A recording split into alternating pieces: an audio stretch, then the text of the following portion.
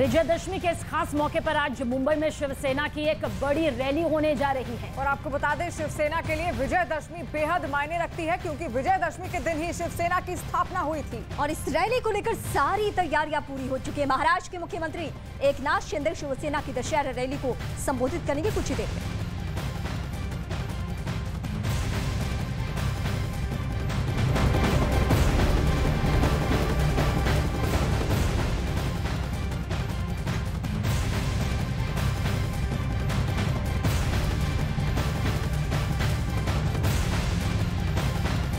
और महाराष्ट्र की सियासत से जुड़ी हुई इस वक्त बड़ी खबर आ रही है। उद्धव गुट के पाँच एमएलए शिंदे गुट में शामिल होंगे। दो सांसद भी हो सकते हैं शामिल। इस वक्त की बड़ी खबर आपको सियासी तौर पर बता दें कि शिंदे गुट में विधायक शामिल होंगे। जानकारी आप तक पहुँचा रहे हैं, जो कि महाराष्ट्र की सियासत से निकलकर सामने आ रही है। हालाँकि महाराष्ट्र की सियासत में किस तरह से बड़ा बदलाव देखने को मिला, उस बीच अब उद्धव गुट के पाँच एमएलए शिंदे गुट में शामिल होंगे, जिनमें दो सांसद भी हो सकते हैं शामिल। शिंदे गुट में शामिल होंगे ये विधायक और ये आज की कवायद नहीं है, बल्कि बहुत दिनों से कोशिश चल रही थी, लेकिन आज का दिन, चूँकि शिवसेना के स्थापना दिवस के तौर पर तो आप समझ सकते हैं कि दोनों जो खेमा है, यानी उद्धव खेमा और शिंदे खेमा, ये चाहता है कि खुद को मज़बूत करे और सियासत में मजबूती कैसे आती है?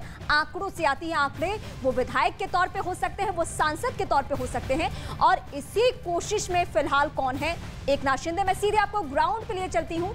मेरी सहयोगी रितिका इस वक्त हमारे साथ है। रितिका, कुछ सियासी बातें भी हो रही हैं और इसके अलावा जो वहाँ दोनों खेमों की रैली है, उसकी तस्वीर जरा दिखाइए, बड़ी बातें बताइए वहाँ से।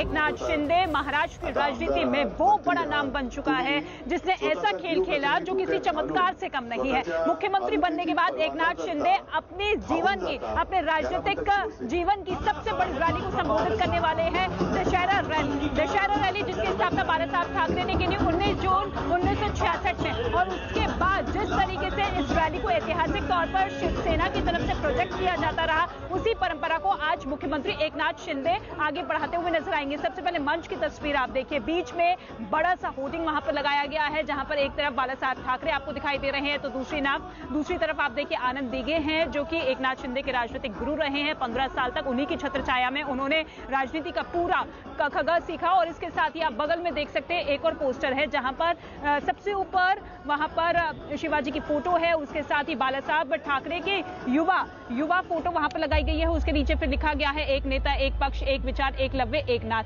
और बीच में आनंद दीघे की तस्वीर है और उसके साथ ही फिर आप देख सकते हैं एकनाथ शिंदे की ये तस्वीर, जो कि सीधे तौर पर यह बताती हुई नज़र आ रही है कि किस तरीके से एकनाथ शिंदे मुख्यमंत्री के तौर पर पार्टी के लिए महाराष्ट्र की जनता के लिए काम कर रहे हैं, क्योंकि ये स्पष्ट तौर पर कह दिया गया है कि बाला साहब ठाकरे के विचारों को ही आगे बढ़ाने का पूरा का पूरा दारमदार है। जिस तरीके से हिंदुत्व की बात वो करते हैं, हिंदुत्व के एजेंडे को आगे रखते हैं, वही असली शिवसेना है और ऐसे में शिवसेना की परंपरा को आगे बढ़ाते हुए आज ये भव्य रैली होने जा रही है। दशहरा रैली जो कि हर साल विजयदशमी के मौके पर होती है और शिवसेना की स्थापना जो बाला साहब ठाकरे की तरफ़ से की गई थी, अपने साथियों के साथ नारियल फोड़कर और उसके बाद ये कहा गया था कि एक परंपरा है जो कि सीधे तौर पर शिवसेना को अलग तरीके से प्रोजेक्ट करती है और साथ ही साथ मंच की, मंच के बाद ये बाहर की तस्वीर आप देख लीजिए किस तरीके से ये पूरा का पूरा ग्राउंड खचाखच अब भरना शुरू हो चुका है। दावा ये है कि ढाई लाख से तीन लाख तक शिवसैनिक यहाँ पर पहुँचेंगे, लोग पहुँचेंगे, कार्यकर्ता पहुँचेंगे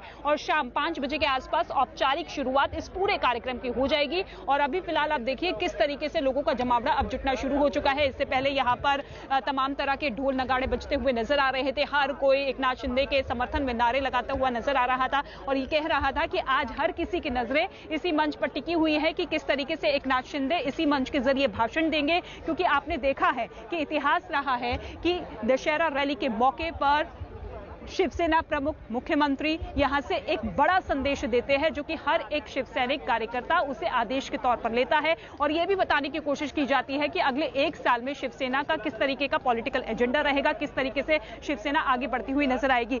पिछले दिनों जिस तरीके से पूरा का पूरा राजनीतिक फेरबदल होता हुआ नज़र आया, उसमें तमाम तरह के आरोप एक दूसरे पर लगाते हुए दोनों गुट नज़र आए। लेकिन अभी फ़िलहाल सबसे ज़्यादा मौजूदगी अगर कहीं है तो वो इसी ग्राउंड पर है, जहाँ पर लाखों की तादाद में कार्यकर्ताओं के पहुँचने का सिलसिला तो शुरू शुरू हो चुका है और इस लिहाज से इस पूरे के पूरे ग्राउंड को चूज़ किया गया है कि यहाँ चार लाख से ज़्यादा कार्यकर्ता आराम से आ पाए, बैठ सके और शिवसेना की तरफ़ से जो भी आज संदेश दिया जाएगा एक नाथ शिंदे जो कि इस मंच के ज़रिए जो भी कहेंगे, उसको बहुत गहराई से सुनते हुए हर एक कार्यकर्ता यहाँ पर नज़र आएगा।